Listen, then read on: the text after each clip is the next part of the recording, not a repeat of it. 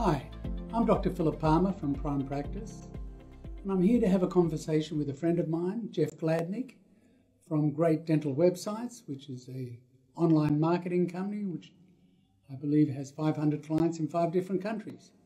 Welcome to Australia, Jeff. Oh, thanks for having me. It's a pleasure. Jeff, give us a bit of background on how you got into this business. Uh, I did uh, electrical and computer engineering in school in uni, which is an odd path to take to run a marketing company for dentists. But there are eight dentists in my family and two more hygienists, and the pull of gravity for dentistry is very strong, and you can't get too far away before you're kind of sucked back in. And um, I was uh, working as an engineer in San Francisco. My dad wanted a new website, and uh, he called me, wanted some advice. We couldn't find him a good deal or a company that we thought could do it effectively. So I said I would make one for him. When my uncles got wind of the free website deal, uh, they wanted in too. Uh, so it ended up becoming a small business as they started to refer friends. And gradually it just built and built. And now we have about 35 staff, about 500, over 500 clients in five countries, and now here in Australia and New Zealand. Very good. I know that story about families that do dentistry. My family does the same. I've heard. I have a uh, brother in law and a, a niece who's a dentist. My son has the same complaint as you, a dental family. Anyway, I notice you have an accent and uh, you keep mispronouncing things. Tell us about what brought you to Australia. I'm trying my best. Um, so we, a couple years ago, we um, became aware of uh, the the need for our services in the Australian market, and it seemed almost like a mistake at first, or we we didn't understand something because Americans think of Australia as a very developed country, a very proper country, and we figured that the, the state of dental marketing and the technology used would be right up there with what we do in the states. But uh, as we got here and looked around, it's it's not, and it's not that uh, you know it, it just seems like the the impetus for having to market yourself as a dentist hasn't quite happened to the degree it's happened in the U.S., where marketing is an absolute necessity um, to thrive um, in the industry today in the in the United States. And so a lot of the techniques um, processes, technology that we take for granted in the U.S. have never been really tried here. Um, and the competition we see um, on, for online marketing, where it's almost a blood sport in the United States, and when we bring on a new client and we're looking at you know their colleagues in that area, and there's it, we're like this is going to be difficult and it's going to be expensive. We can do it, but we're setting expectations. In Australia, the uh, we have you know clients that come up first, second, third in Google, um, or I should say dentists that don't have a website, and it's shocking. Um, but you can kind of win on the podium right now in Australia uh, with very little effort, and so we saw that as a huge market opportunity for ourselves um, because things, uh, as we understand, are changing here quite a bit, and marketing is becoming um, more accepted and more necessary. Um, so we're really excited to bring our processes and technology to bear with this. We've been doing it for 10 years, and it's, uh, it's there's a lot of green fields here. So we seem to think that we're the only market in the world that's where it's overcrowded, um, where there's more dental schools than there are, than there's a need for. There's more graduates. We're still bringing dentists from overseas. There's corporatization. There's all these forces of competition. Can't be that bad in the United States, is it? I, I mean, you might be uh, happy or disappointed to know that's perhaps worse. Um, I think somebody told me it's our rate of corporatization is not quite double, but it's, it's getting close. Um, marketing is you might consider obscene. There, the uh, there are practically there aren't no there are, uh, there are some regula- there are regulations, but there's not many. There's a lot uh, tighter of a path you have to walk through here. Um, reviews, video testimonials, outrageous promotions, and like not quite used car salesman tactics, but uh, some people do. Uh, we try to avoid that. But there's, it, it seems like uh, Australia is going through the same period that the United States went through in like 2005 or so, where um, the the state of online marketing is, is, is, almost exactly the same here, where people are just starting to figure out what works. And I don't know if history will repeat itself, but it usually rhymes. And I expect you guys to go through a very similar transition that we did back then, where it became nice to have a website, and then it became necessary, and then you had to have a website, and then not only did you have to have a website, but it had to obey Google's rules. You had to market it properly, It had to be optimized for search engines. It had to work great on mobile. And if you don't do this, you're at a serious disadvantage. So, aren't the Australian companies doing that already? Um, surprisingly not, and probably because there hasn't really been a market for it in the last couple until very recently. So there's, I mean, there are hundreds of companies that do what we do in the United States, and some do it uh, well, and there are very few uh, companies that even uh, say that they specifically market to dentists or have a track record or experience um, to be able to effectively do it here. So that was another thing that uh, was very attractive to us. There's a huge, we think, looming demand, and no one really set up to service it. So let me paint a picture for you for a dentist who's time poor. I don't know mm-hmm. if you've ever heard of a dentist who's time poor, but they all, every dentist seems to think they're time poor. And they only really want to spend one or two hours a month on their online marketing. What should they do in that one or two hours a month? Uh, yeah, I hear this almost always from all of our clients. There are very few dentists who wake up in the morning uh, excited about marketing. Um, we love those clients, but they're they're rare. Um, the best thing that a dentist can do is probably record video of themselves, and it's very easy to do. It doesn't always even have to be professionally done if you have a little bit of time and quiet and talent and good lighting. Um, we we send uh, our clients little tripods that they can attach to their smartphones so they can try to uh, do this on their own. But um, I mean, there's there are even dentists now that have become celebrities. You've seen the singing dentist yeah, guy with the, the, with the eyebrows. Exactly. Yeah. I mean, he's getting on, you know, the Good Morning America and Good Day Australia or whatever yeah. um, you guys have here, and I he, he's become an international celebrity, a dentist, yeah. um, for for singing uh, on YouTube, and I I get a lot of pushback from our clients all the time. It says, "Well, that's not going to be me. They already have the singing dentist. I can't do that." That's right. Can't you do that for them? Well, we can't really be you, um, and nobody online wants to, you know, connect socially on social media or develop like a sort of, um, you know, emotional relationship with with your marketing company. They want you, and it's a very um, it, it's a very uh, emotional decision to, to find a dentist. You're going to be, you know, purchasing services from someone who's literally going to be sticking their hands in your mouth. Like that's a very intimate uh, relationship. You're not buying bricks. Um, so you, you, care about who they are and you have to get to know them. And a lot of people didn't grow up going to their dad for 36 years like I have. They're afraid of the dentist. They might have a phobia and they might have had a horrible experience with the previous dentist. And anything you can do to reassure them that you're a nice person. It's going to be okay. Um, and you know they don't have to be afraid.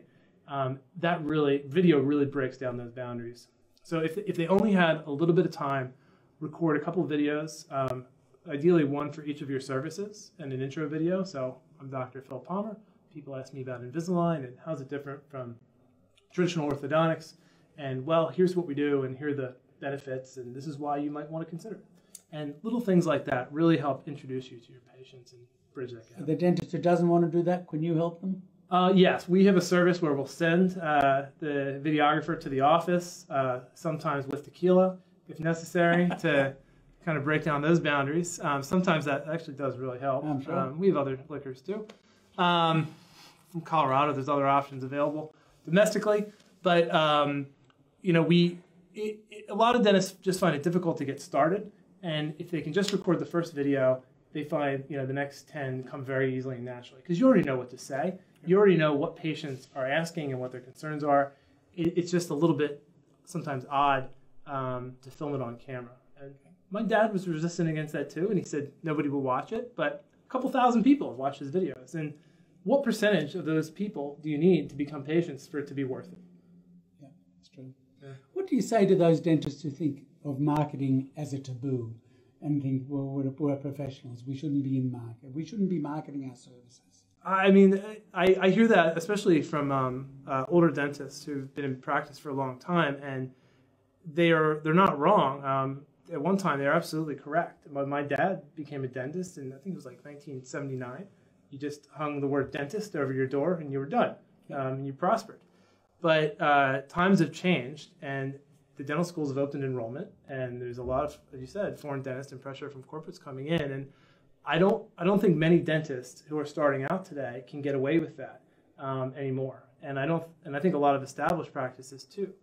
And you don't, you know, you, you don't have to advertise yourself like a used car salesman. Um, you can remain very professional and Yeah. carry that message. Marketing is just sharing your story with the world and your community and, and your uh, target market. And how you do it is entirely up to you. You have total control over that. And it can be as professional or as sleazy as you want it to be. And we much prefer it's the former. Um, and that's what we like to work with. But um, that's totally up to the dentist.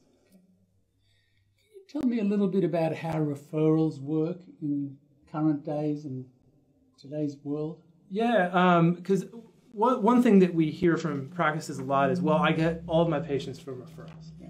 And you might. Um, but they probably aren't coming in the way you would think. And it's not that, you know, two people are sitting in a coffee shop and saying, oh, you know, I love Dr. Palmer. You need to go see him. And they say, great. and I'll pick. Well, some, I'm sure, uh, do quite a bit. But they don't always just pick up the phone and immediately call you. They're going to research you. And oftentimes what we see now is these referrals happening online on social media and what we've kind of dubbed referral contests. So, well, like I live in a brand new community that was just built, so there's no trees, but uh, people will move to that community almost like every at the end of every month now, like clockwork, and they ask the same questions: Who's your who's your vet? Who's your pediatrician? And who's your dentist? And immediately, you know, five, ten, sometimes 20 people jump into this conversation and say, you should go to Dr. Smith, you should go to Dr. Jones, or you should go to Dr. Palmer. And it becomes this contest where person will, and some people even embed the dentist's like Facebook uh, page or their website. If you don't have those things, you're at a disadvantage. If somebody can't quickly Google that name and find your practice, you're at a disadvantage and they'll move on to the next one in the list. And they don't always tell you this, and you, we encourage our clients to ask because they'll come in and say, well, you know, Steve, you know, Steve Johnson referred me, and so that's why I came in. And if the front desk doesn't ask any more questions, you'll never know that you won a contest, um, and you're doing a good job, and your marketing and your online uh, presence and your website may have helped with that. Um, it wasn't just the referral; the referral helped, and the website assisted. That's interesting because I was told recently I'm going uh, on up to Queensland for holidays, and I asked uh, a couple of friends where to go, and I got three different referrals of hotels. So what did I do? I looked them up on Google. I checked out the website, and frankly, whichever one looked best on the website was the one that I went to because I had three different Yeah. referrals, and it's the best website that wins. Yeah, and So that's, I guess, the way, the same thing with dentists. Although I never thought of it like that before. we, we all do that, we, especially with restaurants. Um, it's vital uh, that you appear uh, that, that you appear as good as you actually are in the chair online. So, how does Dr. Joe Public? There's a lot of marketing companies who are very good at marketing themselves. They promise you the world. They say you're going to come up top of the online. You're going to come up top on this. Get, we're going to make sure that you get. We're going to drive patients to your door. How do I assess which one I should go to if I'm Dr. Joe Public? Yeah, it, um, I, I'm aware that I'm in a profession kind of swimming with sharks um, to an extent, and I, I get this question quite a bit in the U.S. and it, you it's it's kind of like uh, bodybuilding because I can tell you that you know I lift weights and you could take a look at me and say, well, not much, but and but I'm telling the truth. I can swear in court that I, I'm a weightlifter and I'm technically correct. And, but Arnold Schwarzenegger can say the same thing, and even at the his ripe age, Yeah. he's still much better at it than me. And you kind of have to go through a similar process with marketing. When they when someone says I do SEO, it's not uh, which is search engine optimization, the process of you know trying to um, tune a website and optimize its content so it appears more highly in, in search queries. Um, that's not a box to check to say do you do search engine optimization or not. It's not like air conditioning in a car, yes or no. There's um, kind of a blend of art and science and process to this, and it's proportional to the amount of time spent. And the way that you really should be evaluating um, marketing companies as a dentist is you need to ask for referrals.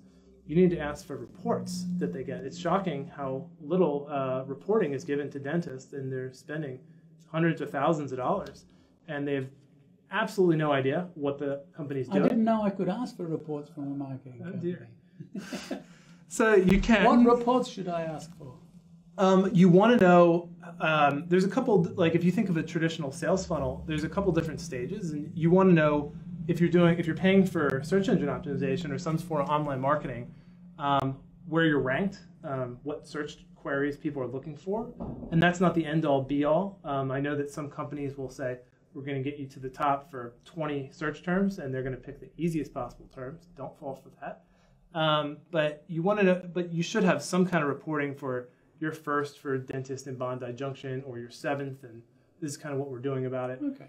Um, how much traffic is coming to your website, and then how many of those people are filling out contact forms, and you know you can kind of see it, uh, the Okay. path going down the funnel. Okay. So, if I wanted to assess how my marketing company is doing, I've got a website, I've got a marketing company. What should I? How should I assess that? I I would talk. What are to- the criteria? So I, I would talk to your colleagues and find out and compare reports and see what they're getting. What are they paying?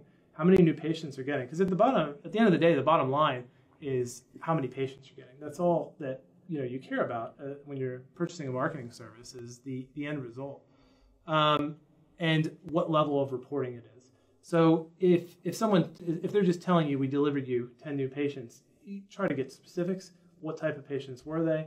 Um, if they can give you the names or um, more detail, that's useful too, um, and how they spent their time.